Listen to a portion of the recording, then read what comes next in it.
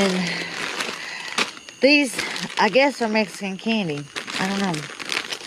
Pico gummies. Then you got, uh, we got lots of nuts. We got, this looks like hard candy. Yep.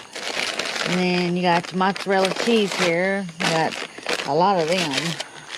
And peanuts, cashews, um, these, I can't think, something. Found candy in a spoon. Looks like a little poo-poo. Mr. Hanky. Mr. Yeah. And I uh, found us some cookies and found these iced coffees. They're um caramel iced lattes.